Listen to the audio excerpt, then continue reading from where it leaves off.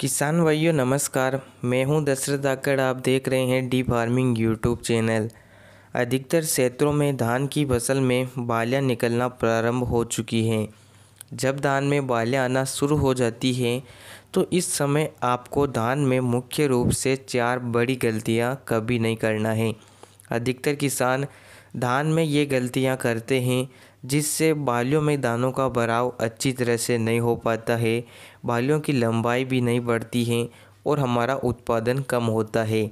इस वीडियो में मुख्य रूप से आपको मैं चार ऐसी गलतियाँ बताऊँगा, जिनको अगर आप नहीं करते हैं तो निश्चित तौर पर आप अपने धान से अच्छा उत्पादन ले सकते हैं।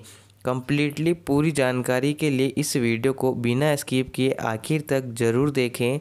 चैनल पर नए हो, चैनल को सब्सक्राइब करें, पास में जो घंटी है, उसे ज़रूर चालू करें ताकि आपको हमारी हर एक नई वीडियो का नोटिफिकेशन तुरंत मिल सके। धान में बालियाँ निकलते समय किसान बड़ी गलती करते हैं कि धान में फंगीसाइड का प्रयोग ना करना। जैसा कि किसान भाइयों, धान में कई प्रकार के फंगीसाइड जनित रोग, जैसे कि धान में ब्लास्ट रोग, जुलसा रोग लीप ब्लाइट आदि प्रकार की फंगस जनित रोगों का प्रकोप देखा जाता है। इनका असर धान में बालियाँ आते समय ज़्यादा होता है। अगर आप धान में समय से फंगीसाइड का प्रयोग कर लेते हैं तो यह बीमारियाँ आपकी फ़सल में नहीं आती हैं। अगर आपकी फ़सल में फंगस का प्रकोप दिखाई दे तो आप बालियाँ आने से पहले ही फंगीसाइड का प्रयोग कर लें। फंगीसाइड के लिए अलग से चैनल पर वीडियो आने वाला है, उसको आप देख सकते हैं। इसके बाद दूसरी गलती किसान करते हैं, कीटनाशक का प्रयोग ना करना। किसान भाइयों, धान में बालियाँ आते समय बहुत से कीटों का प्रकोप धान की फ़सल में देखा जाता है, जो कि फल को भी काफ़ी ज़्यादा नुकसान पहुंचाते हैं।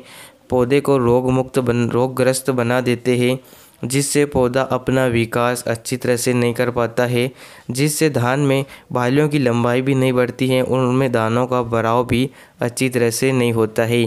इसके लिए आप समय से धान में कीटनाशक का प्रयोग कर सकते हैं।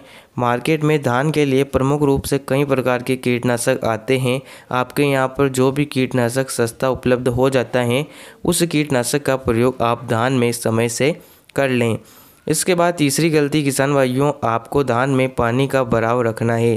कहने से मेरा मतलब है कि जब धान में बालियाँ निकलना शुरू होती हैं उस समय आप अगर बारिश नहीं हो रही है तो धान में सिंचाई कर दें, जिससे दानों का भराव अच्छी तरह से होगा।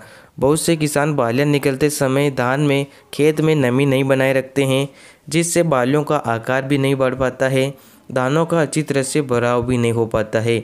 जब धान में बालियाँ निकल रही हैं तो आप उस समय खेत में नमी बनाए रखें, बारिश नहीं हो रही है तो आप समय से सिंचाई करें।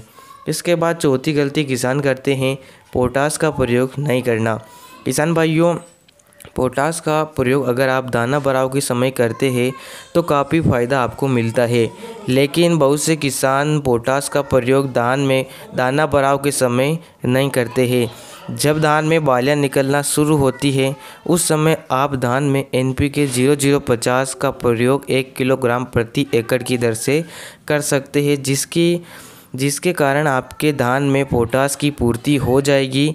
पोटास आपके धान में दानों का भराव अच्छी तरह से करवाएगा, साथ ही धानों का आकार बढ़ाएगा, जिससे हमारी बालियाँ लंबी बनेंगी और हमारा उत्पादन बढ़ेगा।